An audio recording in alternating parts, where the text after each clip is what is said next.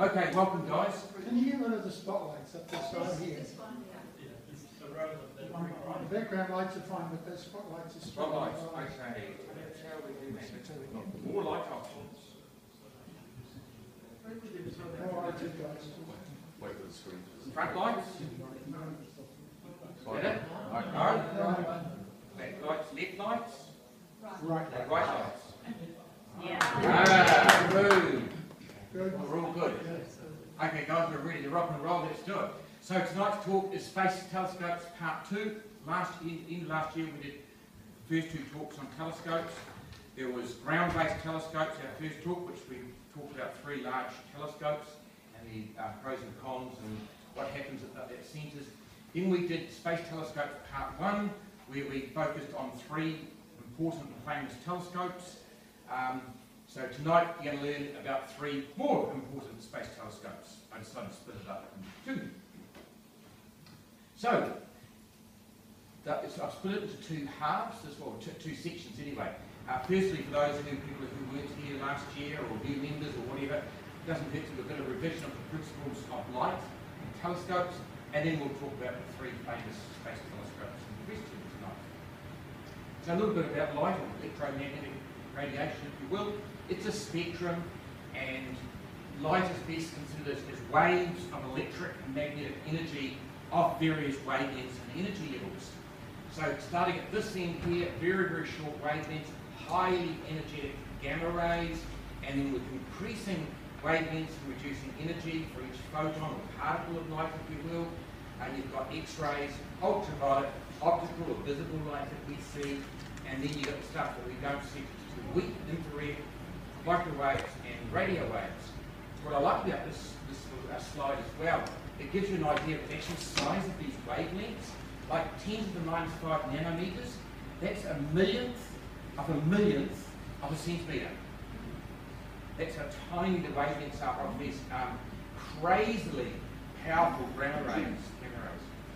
Right at the other spectrum, look, you've got radio waves that are up to a kilometre in wavelength. So what a contrast between the whole spectrum. The other thing just to mention here with uh, principles of, of light is that our atmosphere absorbs and distorts most of the light that comes to Earth from out in space. Um, you certainly can see here with the gamma rays, the X-rays and the ultraviolet are all absorbed by Earth's atmosphere. There's a nice tiny little window with the visible or optical light that's able to get through that of course we see, that's convenient. Infrared's a bit patchy, some gets through a little bit, mostly it's blocked. Um, so the, uh, microwaves are usually a fair bit of blockage going on. It's a lovely window here for the radio astronomers, and then the longer wavelengths they get blocked again. The relevance of all this, of course, is leading up to space telescopes. So astronomy pre-1960, before the space age, pretty much all ma- made telescopes were all pretty much there, ground-based, um, course they were remote for two reasons. One is to get away from light pollution from cities and so on. If you were dealing with optical wavelengths, if you're dealing with radio telescopes, they wanted to be remote, getting away from microwave ovens and um, mobile phones and so on, all, all the chitter chatter and noise that us humans are good at creating. They've also elevated um, sites for two reasons. One is get higher up in the atmosphere, the atmosphere is going to be thinner and it's going to be colder, so you're going to have less turbulence and on. The second reason why you want to be nice and elevated is you're up above most of the water vapour. Water vapour is a very powerful absorber of infrared wavelengths. If you get above 3,000 metres, you're up not above 90% of the Earth's water vapour, water vapour. So you're, getting you're immediately getting access to these the near infrared wavelengths. In the 1960s onwards, along came the space age, and along with rockets came space telescopes. Um, over 80 space telescopes have been launched since 1965. You so, so the advantages, you can see the advantage of getting above the atmosphere. You think, well, why don't we just put loads and loads of them up? Well, the two disadvantages is their size. They're very expensive to build. If you've got a ground telescope, you can make that as big as you want it to be, as far as your can handle it. And also you can service it. Space telescopes are very, very expensive, very delicate instruments, and they're also very expensive to launch. When you see a rocket sitting on the launch pad, 85% of the, of the mass of that entire rocket is fuel to keep the payload in orbit. So that's it's a huge thing to try and put something into orbit. So you've got to keep it as small and as light as you can possibly get away with. And the second disadvantage of space telescopes is you can't, with notwithstanding the Hubble telescope, don't forget there's a good, you know, there's good 79 announcement up there, is you um, can't really service them and, and give them upgrades and so on. Remember that we looked about the Keck telescope and others have had upgrades with the adaptive optics and so on. You can't do that. Once something's up there, it's up there. Okay, so here were the six famous telescopes we're picking on. Remember last year we looked at the, um, the Spitzer, which telescope, which is able to view the infrared part of the spectrum. We looked at GALEX, which looked in the uh, ultraviolet part of the radius of the electromagnetic spectrum, and we looked at the Hubble, which does predominantly um, optical or visual part of light, with a little bit towards the infrared and a little bit towards, towards the ultraviolet. So tonight we're going to look at the Fermi telescope, which views the universe from those powerful gamma rays. We're going to have a look at the Chandra X-ray Observatory, which looks at the universe with the X-rays, and we'll look at the James Webb Space Telescope, which is going to be launched next March, all going well. Um, that's uh, going to be looking at this very powerful telescope with the infrared. Right, so just recapping where gamma rays sit, they sit right up here. These are the most shortest wavelength, powerful light waves you can get. And that's the NASA's Fermi Space Telescope. Of course, um, it's, it's designed specifically, which we'll talk about, to, to, uh, to capture and analyse these um, extreme energy gamma rays. That's it there. It was launched about 12 years ago. The Delta 2 rocket um, is placed in a low Earth orbit, about 550 kilometres. So this is what it looks like. Uh, it has two main instruments. The LAT or Large Area Telescope, this, this big sort of box up here and rolls down here as well, and these gamma ray burst monitors. So the LAT is designed to do all sky surveys looking for AGNs, that's active galactic nuclei, which we'll talk about shortly. Pulsars, which we'll talk about, it's also you'll find out with the movie how it picks up dark matter. Tries to find evidence of dark matter. Gamma ray bursts, a quick, short, sharp burst of gamma rays. We'll talk about those shortly. And I have a whole talk on that, which we'll probably do later in the year. You see a picture of a technician to give you an idea of the size of it. There it is down here. Think he's lying on the side looking underneath there. But that, you know, it's a, it's a decent sized instrument. The other thing is you might say, is that a telescope? Really? That looks a bit odd. You know, where are your mirrors and stuff? Who designed that? What were they smoking on the day to design that? It looks crazy. Well, the reason it's that crazy shape is it doesn't have mirrors. You can't just get mirrors and try and direct light onto the detectors and redirect them in like you can a normal telescope. Gamma rays, photons, or little particles, are millions and millions of times more powerful than the average photon in optical wavelengths. To a, to a gamma ray photon, a mirror is just a big joke. Ha! A mirror. Humans invented those. Just a joke. Go straight through them. So how do you detect them? What you try and do is get the gamma rays to interact with material, and then you look for signs of those interactions. And that's what we're going to, we're going to look up the hood of this shortly and, have a look at it and see, see what's going on inside. That, that's it. Now, for gamma ray detectors, there's two key methods that they use to monitor the interactions, Compton scattering and pair production. Essentially, the process, as you're going to see, the LAT is actually a multi-level detector. It's a series of levels of detectors, and it detects the movements of particles. So let's have a look. Compton ray scattering.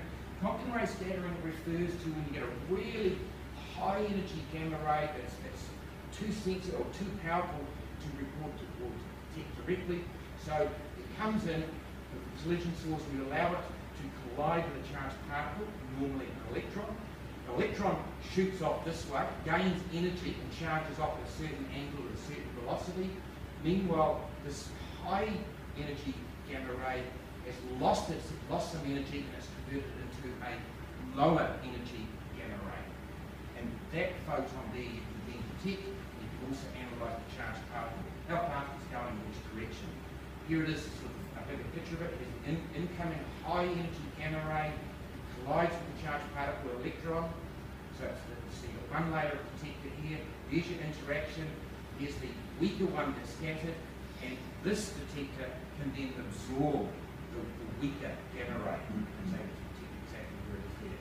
So the idea is you try and get it to interact and reduce its energy and analyse that and analyse the charged particle. That's Compton ray scattering. Mm-hmm. Pair productions, once again, if you get a really, really high energy gamma ray, as, as it interacts with material, as it gets close to an atomic nucleus within that material, the energy of the gamma ray, as E equals mc squared, gets converted into mass, and it creates a pair of electron, and the electron's antimatter companion or opposition is called a positron, which is just the, the same mass electron but with different charge. Positron shoots off, eventually joins up with another electron, goes through an annihilation process, and creates another photon of light, which can be analysed. Meanwhile, the electron can also be analysed to see what sort of um, what sort of velocity and direction there, and, and that whole process they can work out the energy of that gamma ray. And here it is here. I've got a little booger. See if I can do this, which just goes through that clear cut. So here's your LAT, see all the multi-levels, shown here, multi-level detector. Your highly energetic gamma ray split into electron and positron. They're quickly going through the detectors and picking up the velocities and the directions. Bang, annihilation, a low- a lower energy photon heading out. So that's how the pair production, so that's a totally different beast to your standard telescopes that you're used to. So you might think, okay, so that's what gamma rays are about. That's how you record and capture them and, and work out sort of what gamma rays are coming in. So what sort of sources out there in the universe create these extreme energy gamma rays? And the bottom line is it comes down to extreme energy events. So terrestrial on Earth, there's a couple. So first of all is nuclear fission explosions, atomic bombs going off. They quite happily produce plenty of gamma rays. In fact, the very first gamma ray detectors were, were launched into space in the 1960s with the sole prime purpose of monitoring other countries to see they weren't, you know, they had a nuclear weapons treaty, was to make sure they weren't violating the treaty, so the whole world was watching each other. And in the process, they actually picked up these little bursts of gamma rays out there in the universe and realised, ooh, there's more going on than we thought. It was an accidental finding. So there's another terrestrial source of gamma rays. Can anyone tell me what it is? No chocolate, sorry. Lightning! Yeah, lightning strike. So, um, quite happily, a strike of lightning can quite happily accelerate electrons up close to the speed of light. Um, and when you get electrons accelerated up to those velocities, yep, they're going to give out gamma rays. There was a question once in the street um, up at the Manly there, and there was some news, uh, uh, uh, was some news crew there. They were interviewing people at random walking across the street. What's where is it the hottest? Surface of the sun or in a lightning strike? Of course, everyone said, oh, oh the, the lightning strikes must be cooler than the sun must be hotter. But no, it's the opposite. The sun's surface is about 5,800 degrees Kelvin, as opposed to about 10,000 degrees in a lightning strike. Okay, so where else in the solar system would you expect gamma rays to be coming from? Go within the solar system. Yes. Yeah, the sun. So solar flares, large solar flares and mass coronal ejections, quite happily, uh, they're with the high energy events, they quite happily pump out gamma rays and X-rays. I think that's how you classify um, solar flares by the, um, the intensity of the X-rays they develop.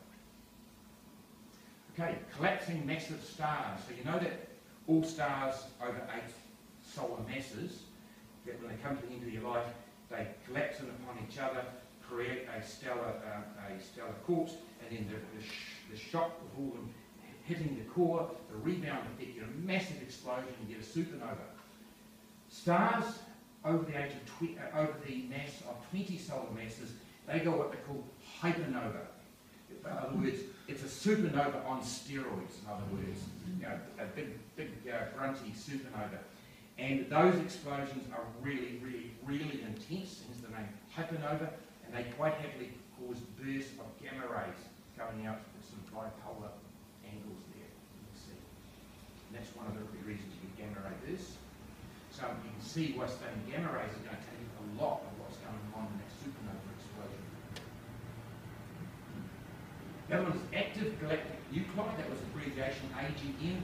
What an active galactic nuclide is, the bottom line, it's a supermassive black hole pigging out. Um, supermassive black holes refer to black holes millions of times the mass of our sun that sit right at the heart of most decent sized galaxies. Um, so black hole sits there quite happily.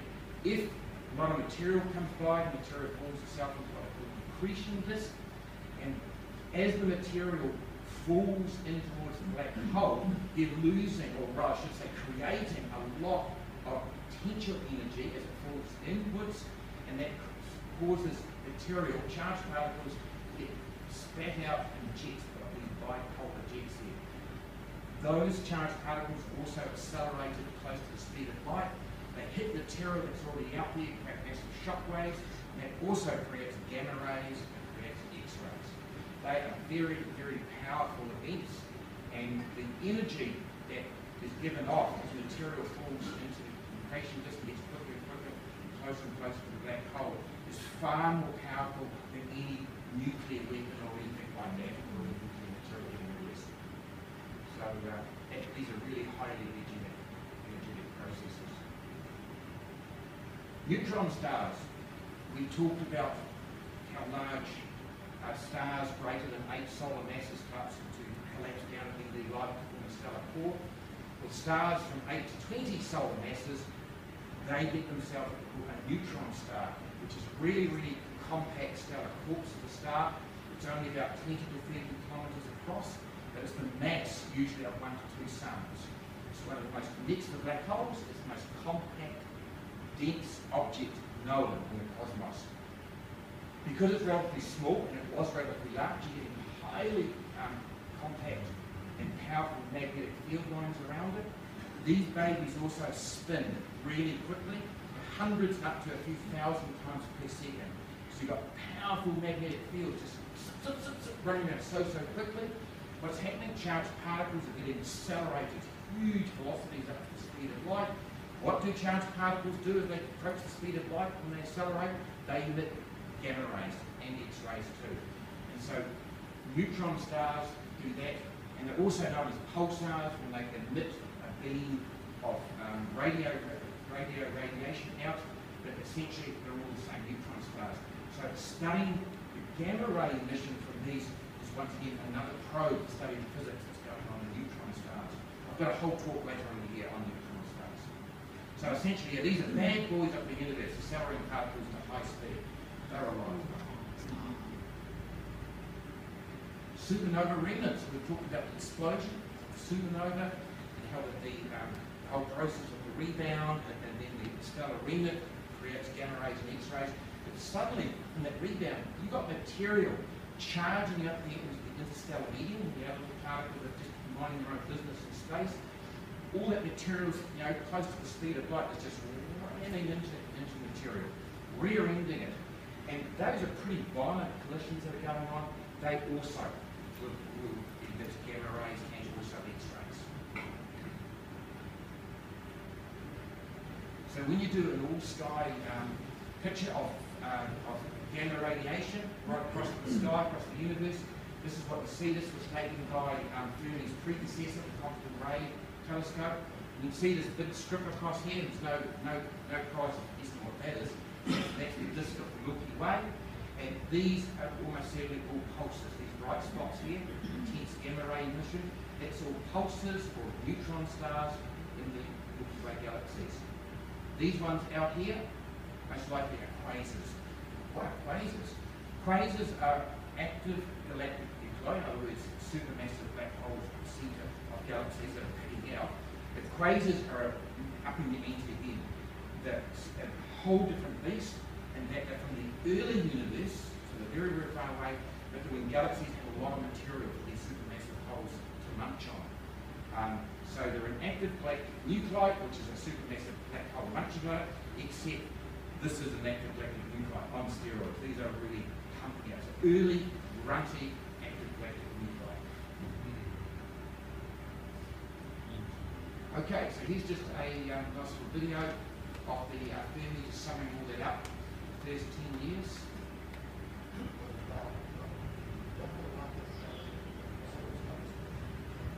I'm Julie McEnery, Fermi Project Scientist. Its launch in 2008, Sorry. Fermi Gamma Ray Space Telescope has revolutionized our understanding of powerful events and objects in the cosmos. Fermi observes the universe using gamma rays, the highest energy form of light, more energetic than even X-rays. Gamma rays are emitted by objects with extreme gravity and magnetic fields. Many of the gamma rays Fermi sees are produced by black holes, and incredibly dense, rapidly spinning stars called pulsars. Fermi's predecessor, the Compton Gamma Observatory, collected data from 1991 to 2000, which was used to create this Earth-star map. Over the past decade, Fermi has refined our view and fundamentally changed our understanding of the cosmos. In celebration of its 10th anniversary, here are just a few of its transformative discoveries.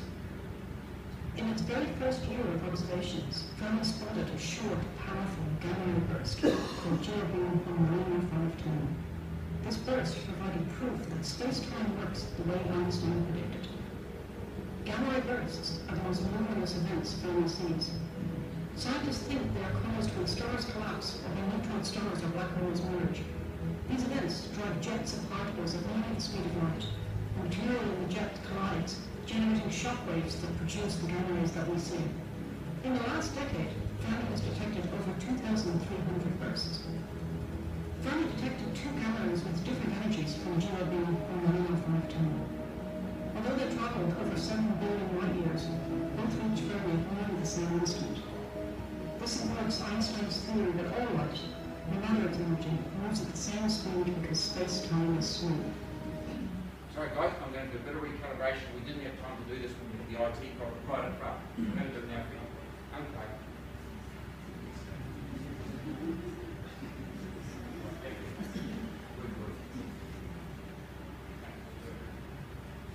Good. Take it off. Stream going down here. Okay, let's try that again.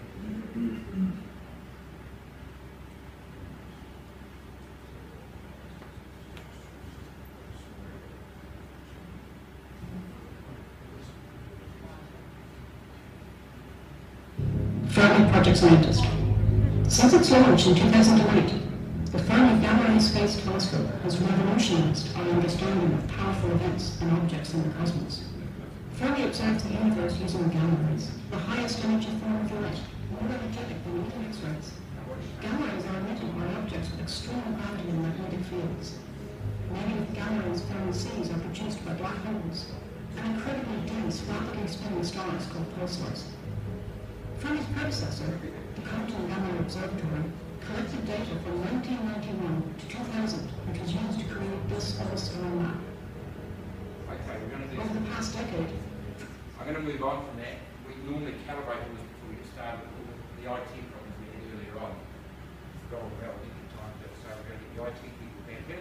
Let's move on. The, the gist of it there, all the pretty much things I talked about um, are highly, highly energetic and the Fermi Space Telescope has just opened up a whole branch of astronomy. Okay. So let's talk about the um, X-ray radiation. We'll, we'll have to get that problem sorted out with Andrew's trying to know too. Um, so X-ray, here, is just a little bit less powerful than the gamma rays, but once again more powerful than ultraviolet and optical wavelengths. And this is NASA's Chandra X-ray Observatory Telescope. My favourite telescope, a project I'm pulling it apart bolt by bolt by bolt. NASA doesn't know that yet. It's, it was launched by the Space Shuttle in 1999, so it's over 20 years old, still producing very, very good data. That's it here, what it looks like. Um, here's your shade, there's the input there where it picks up the gamma rays. I'm going to show you the mirror configuration up in here. You've got a high resolution and low resolution spectroscopy gratings sitting up in here, that's sort of up on hinges that drop down in front, depending which one you want to use. The light travels down here. That there is 10 metres long. So 10 metres, what, from here to the wall, that's how long the telescope is. It's a big, long thing, and you're about to find out why. And way down the other end, you've got your camera and various detecting instruments. So this is, you might think, well, how do they capture these highly energetic particles? So X-rays, yes, are very energetic, as opposed to the gamma rays that just think mirrors are a joke and go straight through them. The X-rays show a little bit of respect for mirrors, whereby if you had it, if they hit them at sort of a grazing low angle, they will reflect off them if you build the mirrors properly with things like iridium and so on. So what they do, this is called a Wolter Type 1 telescope optical design, and you put a series of, or a set of mirrors, one in a uh, paraboloid shape, so you've got circle and ellipse, and that's what called closed sort of systems, if you will. And then your parabolic curve is one that goes out like that, it doesn't close, it just hits like that. And a hyperbolic is even more extreme, it doesn't close. Oh, thanks guys, I'll, I'll be there in about three slides. Yeah. Thank you. Um, so you, if you combined a series of uh, hyperbolic and parabolic mirrors like this, you see the light rays, they're quietly grazing the, uh, the mirror, hit the second mirror, and then get focused down to a point, and that's where you're going to put all your instruments to detect them. So that's the principle of how you manage to capture X-rays. Still pretty powerful. You put a mirror in front of the, these X-rays, yep, X-ray's going to go straight through it. But if you have the mirror at a glancing angle, yep, it'll um, the, the X-rays will, will, will, will um, reflect off them. Now the next thing is, so because you haven't got a mirror like that face on, it's sort of more like that, glancing angle, of course you haven't got a lot of surface area covering where the rays are coming from. But what do they do? They get nested mirrors. They put a whole series of mirrors in like that, just whole groups of them.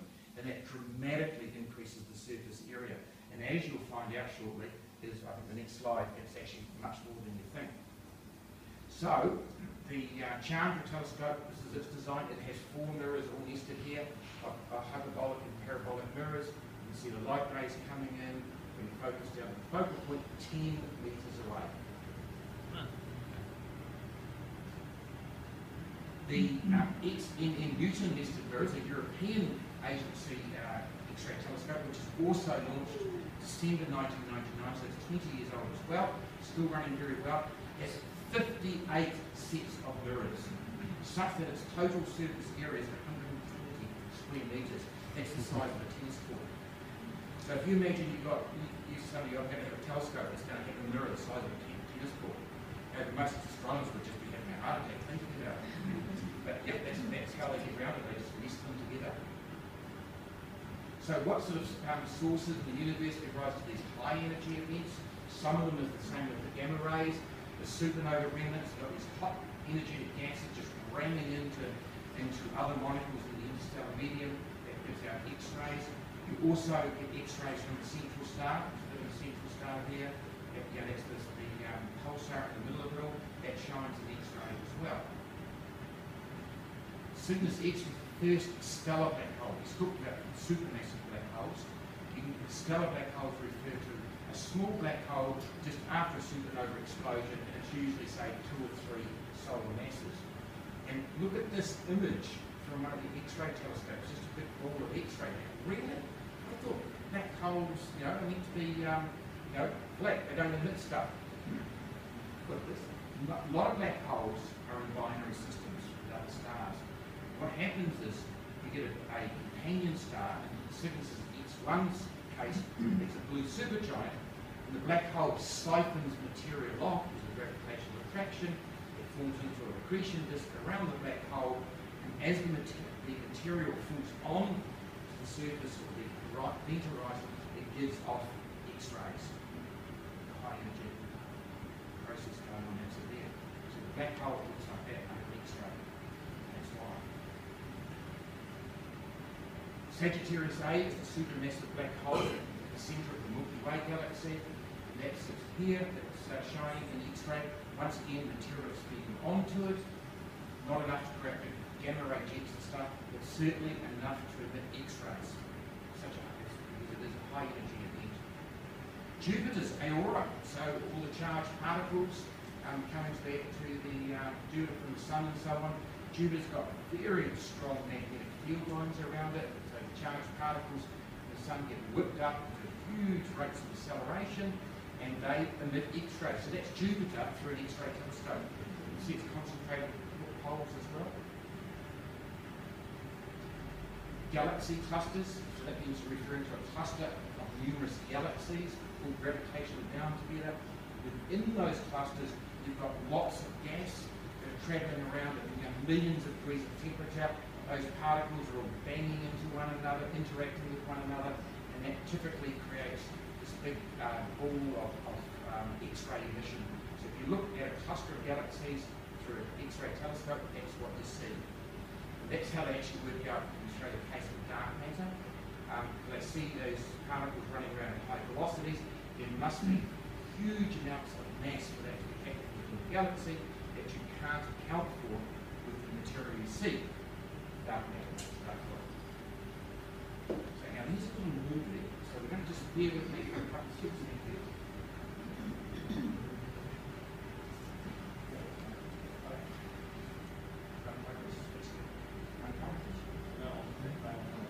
Oh, I can hear you.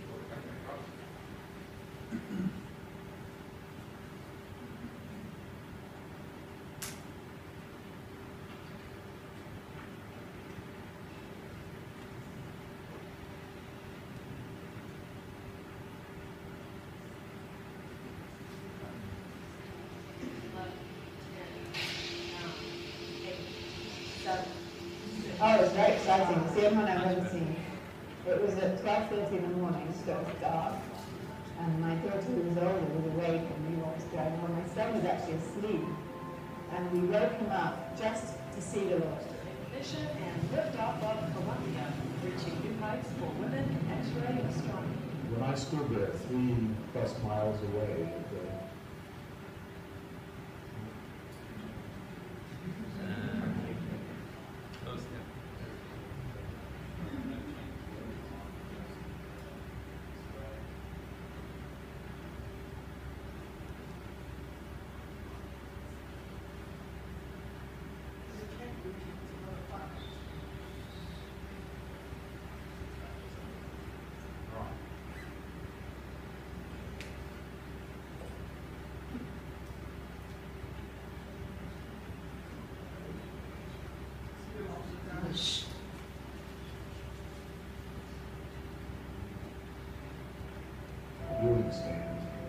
and shuttle entrance lit up, and you could hear the roar, and my shirt was vibrating.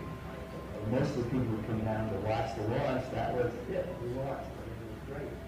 For us, of course, uh, it was a very, very big step, because now Chandra was off into space, but until we saw x-rays uh, coming through and knew that everything worked, uh, we couldn't really be too overconfident or relaxed or assured of success.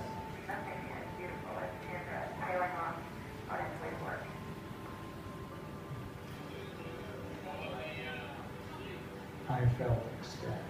I felt unbelievably ecstatic. And uh, when we saw those first x-rays at the the first time we got over and I could see that they were being focused more or less into the right-sized area. I just broke into the biggest smile you've ever seen. When we looked at Cassiopeia A, uh, supernova rising uh, star that exploded about 300 years ago. It's the uh, neutron star, the core of the star that exploded, collapses and forms a neutron star. And we made that discovery in this official first light. Uh, we were very excited. That was an extraordinary time. I think uh, when I first realized uh, the telescope was working, um, I had a, a real sense of relief, uh, a real sense of elation, uh, because of all the hard work that had gone on. Um, I was incredibly proud uh, because of the team uh, and being part of team. Uh, so it was, the requirement was that you had to work for three years and the goal was five. We're 15 years into our five-year lifetime. It's not too bad.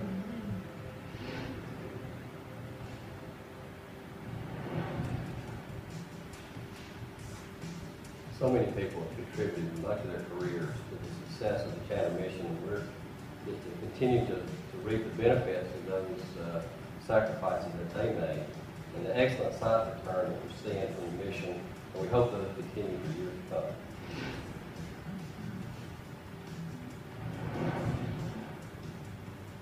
If you want to find black holes, you want to use an X-ray telescope. From various uh, astronomical observatories in space and on the ground, and in particular Chandra being a major player, uh, we've determined that uh, most galaxies that are uh, as massive as our Milky Way or, or more uh, have a, what we call a supermassive black hole in the center of the galaxy. Supermassive means that they, they weigh in at anywhere from a million to 10 billion times the mass of our own sun. What we're tending to find is that cluster of galaxies has a bright central galaxy in the middle. It's often an active galaxy or a quasar. So a supermassive black hole in the middle of a big galaxy. Because when the cluster is forming, a lot of material tends to fall to the middle, so you get the biggest galaxy in the middle. You have cool material falling in, forming stars. Eventually, some of that gets to the black hole. The black hole can't take it all in, so some of it's going out radio jets. That heats up the material that's coming back down. So there's a kind of feedback loop between the growing uh, black hole in the middle and the um, star formation that's happening in the cluster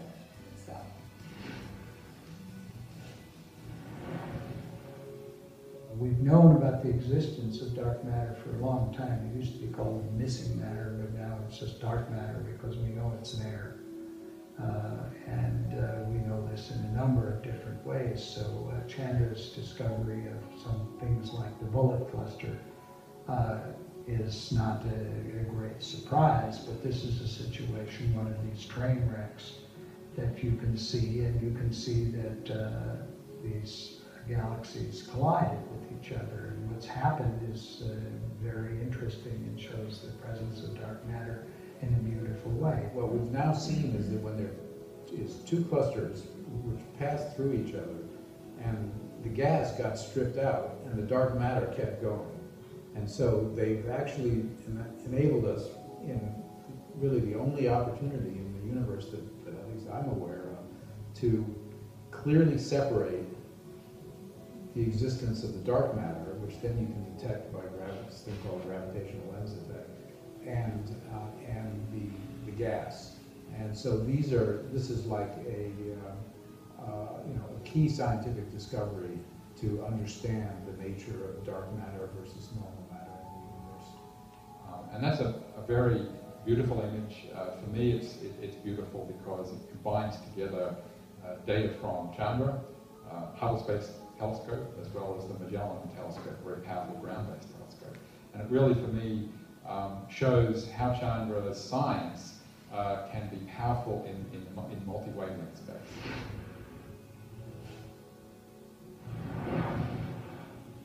important uh, uh, discoveries in astronomy and astrophysics was the discovery of dark energy, and that is that the universe is accelerating apart.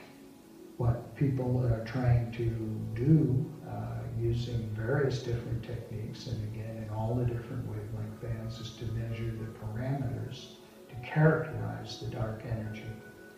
Chandra and X-ray astronomy is playing an important role in these measurements. Well, the universe evolves differently. It's not the universe we're in without it. Uh, I think that's most important. And secondly, if we're ever going to try to understand uh, cosmology, that is the growth and evolution of the universe, this is, these are important constraints, boundary conditions that have to be satisfied by any model that you may have.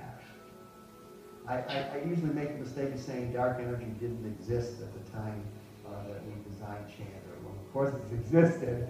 Uh, we didn't know of the existence of dark energy when we designed Chandra.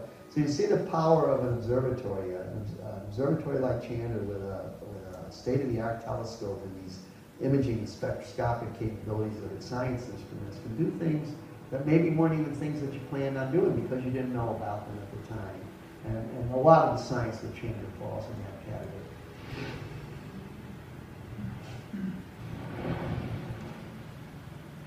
Yeah, the universe is a big, big blip. As you can see there, I hope it was just a better quality one than the five minute one for the twentieth anniversary. But twenty years now, still producing great data. And as you can see, um, through measuring X-rays, you get to see right across the board, most processes and objects in the universe spit out X-rays of some sort. And you can see that leads from this, you to confirming it's having dark matter, dark energy, supermassive black holes, stellar black holes, and so on. So the infrared radiation, just recapping where that is, um, here's, the, visual light, here it is here, so it's, it's just, what, uh, just a little bit weaker than what we can see with our eyes. We all right now are emitting in, the infrared, so you've probably seen those infrared detectors you see people walking around in the dark, because that's what we do, we emit light in the infrared. A lot of processes do that, so the James Webb Telescope has had a lot of publicity, it's been having numerous setbacks, well over budget, but it's meant to be for a year's time, guys, moving to March 2021. Let's keep our fingers crossed. Let's have a closer look at it. Remember we talked about ground telescopes, the number one spec when you're looking at buying any telescope from Andrew, him how big is the aperture or the, or the mirror. Be most impressed. That is the single most important specification for any telescope. So the James Webb telescopes, infrared space telescope, um, you all know the Hubble Space Telescope, primary mirror, 2.4 mirror, 2.4 metre mirror, 6.5 metre mirror. Now that's probably the size of half of this room, perhaps. Yeah, about the size of half of this room, and one massive mirror in space. It's just, it's just a dream, it? It's just a, uh, an ultimate dream for astronomer. That's, that's a real life picture of it outside the God, NASA's Goddard Space Center, just north of Washington. Scout models. So we're going to have a little video on that shortly.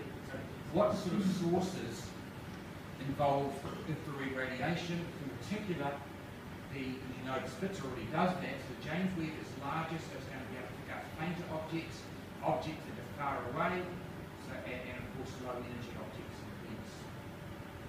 So the very first stars in the galaxies, at the moment we can't see them, they're just too faint, too far away. So the James Webb will be able to pick those up. Hopefully, it's promising to, just because the sheer size of the size of the mirror, able to capture more photons. The reason it's all in the infrared won't go see them because of course space time has expanded. The optical and the ultraviolet wavelengths that are emitted from those stars have been travelling through space. That space over the last 13.8 billion years is quietly getting stretched and stretched. The photons within that space, of course, are getting stretched and stretched and stretched further out to those higher wavelength infrared wavelengths. So that's the first see them will be very, very faint and they'll be in the infrared wavelengths. And that's what the James Webb promises to show us. It will also show very faint star formations that are going on.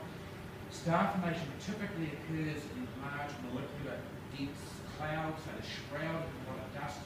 That's opaque to optical light. You look at an area like that, the infrared, you see so much more. I've got a picture of um, the Pillars of Creation, Eagle Nebula from M16. This is a Hubble picture here, but it just it highlights the principle. That's through an optical lens detector, just looks a bit pile of gas and dust. That same image, bang, here, in infrared, you look, you cut straight through all that dust, and you get to see all the stars inside the uh, new stars that are forming. So the James Webb is going to be really high definition, high resolution pictures of star, early star formation going on inside these big gas clouds. Huge benefit to study gas star formation. Planets form, you know, nice, nice dusty accretion disks form around most young stars. But these uh, protoplanetary disks, this is, this is an actual image of a protoplanetary disk around the star that's going to go on for planets. This was taken by the Atacama Large Multi-Millimeter Array. Um, these things are very faint, and once again, they are obscured by dust.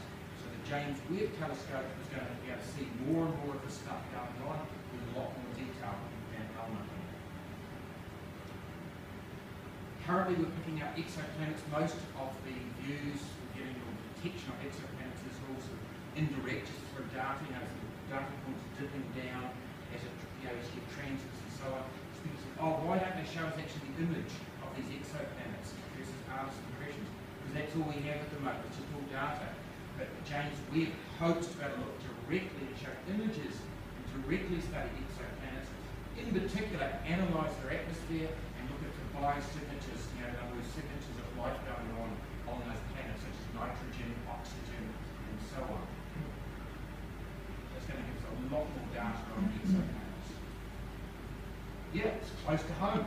Um, it's right in the Kuiper belt, Oort cloud and so on, in the outer regions of the solar system. You know, there's loads, there's millions of very small bodies, uh, relatively far away, relatively small, so the think the James Webb should be able to pick these up a lot easier than we can now to, to, uh, to analyse them. And of course, there's a lot of information on the formation of the solar system, how it all started for us. So here's just a little movie on James, on James Webb.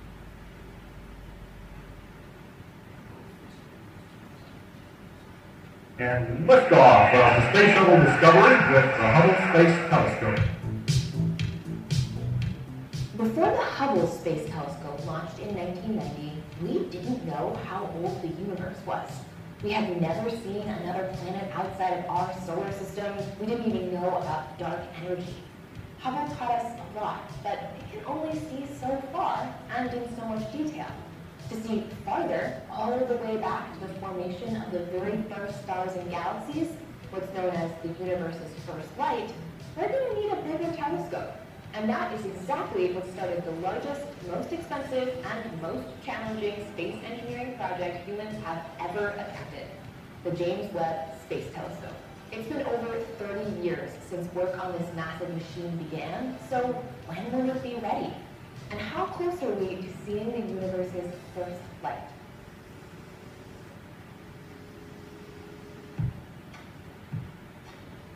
Since its beginning, the James Webb Space Telescope has involved thousands of scientists and engineers all over the globe. But all this work raises the question, what's so important about creating a telescope that's able to see the universe's first galaxies? The Hubble Space Telescope has been absolutely revolutionary in, in changing the way that we understand the universe. But we're really missing a key piece of the puzzle. We're missing the very start of how galaxies got started.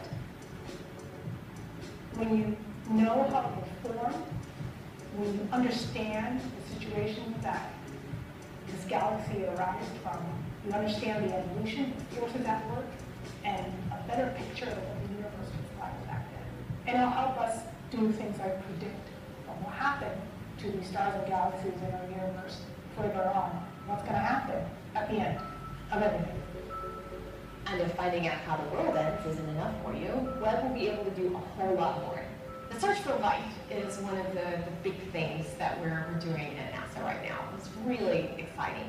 And Webb is going to make, I think, really groundbreaking discoveries in exoplanet science. Knows. We could get lucky now. Personally, I hope we find signs of life where the Webb telescope is. It'd be awesome. Really, Webb is a multi-purpose observatory. It will observe everything from the planets in our own solar system out to the most distant objects we can see and everything in between. And step one in building this, it turns out, starts with these. Have you ever been with a bunch of engineering type folks and when you sit in a meeting with want to talk about, you know, some kind of structure. People crowd and everything, there's I got a water bottle and I'm sticking it up my phone and hey, here's a telescope. This, it's great.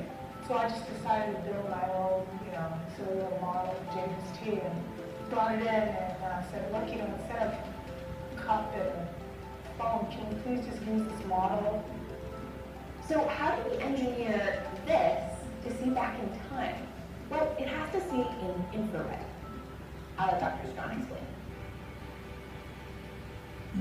So if you think about, for example, the Hubble Ultra Deep Field, this deepest image of the universe that we've ever had, we're able to see very, very distant galaxies. And if you pick out what the most distant ones are, you'll see that there are these little tiny red blips. They're so far away that the expansion of the universe has caused the light from those galaxies to literally be stretched into longer wavelengths. And longer wavelengths mean redder light. That's why we built the James Webb Space Telescope to be sensitive to the infrared, so we can pick up where Hubble left off and really complete that very first picture, to look at the very first star of the very first galaxy. And Webb's ability to see infrared light really relies on three main things. Its mirror, its sun shield, and its orbit. Let's start with the mirror. It may not look big here, but that mirror is huge. Six and a half meters in diameter, to be precise. The reason why it's so big is really because we're trying to look at the very first stars and the very first galaxies that were formed. And they're very far away, and they're very dim. We're trying to collect one photon approximately every second. And so we're counting individual photons. So we need to be able to collect all of that light. Now, the reason the mirror is gold is that it reflects infrared light, making it easier to focus that distant light down into the instruments. But there's a problem. The sun also emits infrared light, which brings us to the sun shield. This part is also huge, about the size of a tennis court.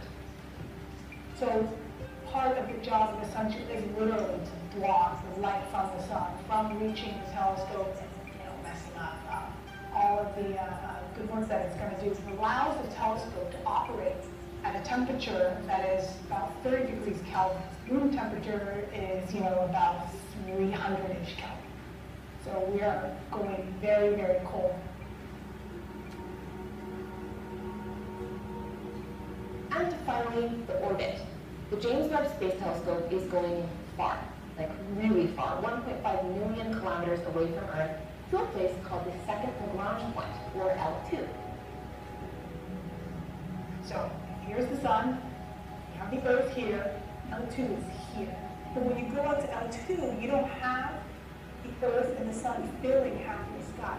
That's why we can use the sun shield to kind of cover them up so that all Webb sees is the dark space and be able to do its mission.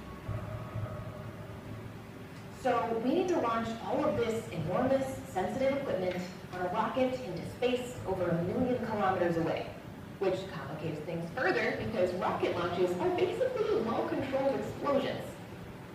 In order to survive that explosion, it has to be designed to be very robust, strong. That, coupled with the fact that JWST is also very large, uh, means we have to design it very carefully fit inside the rocket, then deploy it.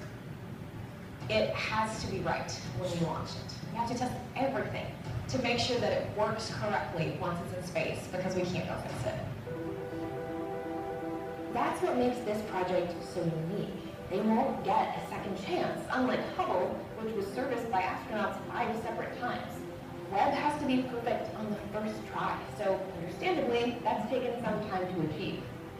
The James Webb Space Telescope was first scheduled to be launched in 2007 and was budgeted at $500 million. But as construction progressed and testing began, that launch date and that budget have changed a lot. This really is engineering at the extreme.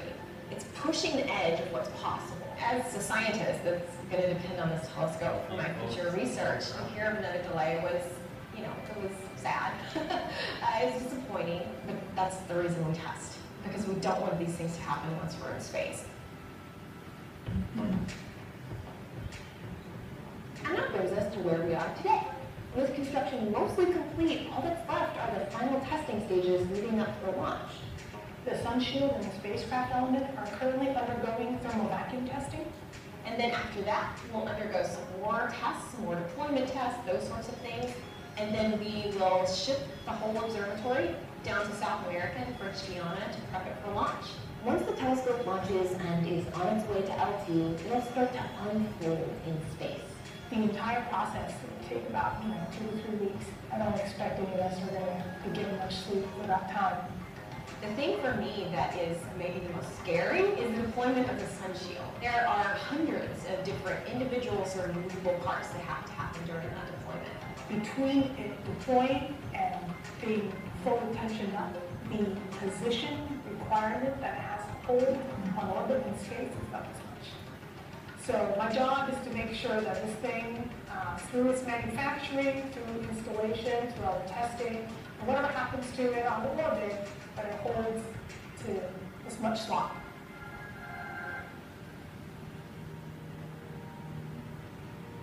After the telescope is fully deployed, there's still a few key things we have to do. We're going to tweak the mirror in order to make. And then we have science instruments, cameras, and spectrographs that we turn on one at a time. and we bring those up to working order. So this whole process takes a few months after launch to get ready. Only then, after testing, launch, and deployment, can we discover the mysteries of our beginnings. So how close are we to seeing the universe's first light? Well, so JWST will be launching in spring of 2021. So about the summer to fall of 2021 is when we'll start getting those very first pictures back, first light. Our current theories in astrophysics tell us that we should be able to see those first galaxies with Webb. Of course, we don't know yet. We won't know until we look. But if the theories are right, then I think we should see the very first galaxies something like a couple years from now after Webb is launched and starts taking its first data. Astronomy really gets to the heart of what it means to be human. It's asking these big questions that humans have always asked. You know, where do we come from? How did we get here? Are we alone? I think we'll answer questions that we haven't even thought to ask yet. And that is one of the most exciting things about any big telescope like this. We are creatures of curiosity and of wonder. This is an expression of it I think, the highest level that we can achieve. For more episodes of How Are We, make sure to check out this playlist here and let us know in the comments what you want to see us investigate next. Thanks for watching. Lift off. It's going to be pretty nerve wracking, isn't it? A few months the output's gone up, waiting for the first light. So a little bit of homework. When you get home, what are you going to do? Go on the social media sites, Instagram, Facebook, whatever, and yet you'll find the James Webb Space Telescope the site there, and you can follow its progress right along until it gets launched.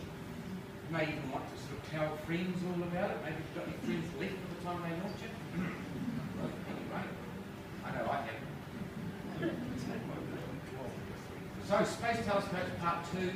Tonight I've shown you three more important observatories. Fermi Space Telescope, views the universe in gamma rays, which reflect extremely energetic events, the most energetic processes that going on in the universe are gamma rays. You saw, right across the Milky Way, the neutron stars that are blasting gamma rays out, and you can see those um, quasars, which are really, really early, really grunty active, active nuclei elsewhere in the universe. So the Chandra X-ray Observatory it observes the universe, which is a big, high energy, not quite extreme, but still extreme, high X-ray events, black holes, supermassive black holes, and so on. You can see those. And then the James Webb Telescope, hopefully all goes well, will be launched in a year's time, which is looking for really faint, distant objects, um, and also objects in the far infrared that have been so old that the space-time their light's been stretched out to the infrared. So I hope you've enjoyed it, um, and thank you for your attention. Thank you.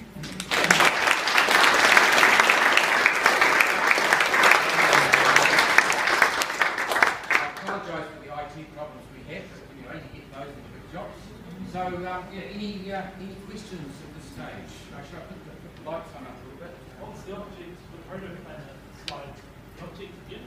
'Cause Oh, that was a small star with a protoplanetary disk around it, and that was an actual image taken from the Atacama Large Camera. It had like spokes, white spokes, a bit like, um, Jupiter, uh, spokes through the rings, the Saturn rings.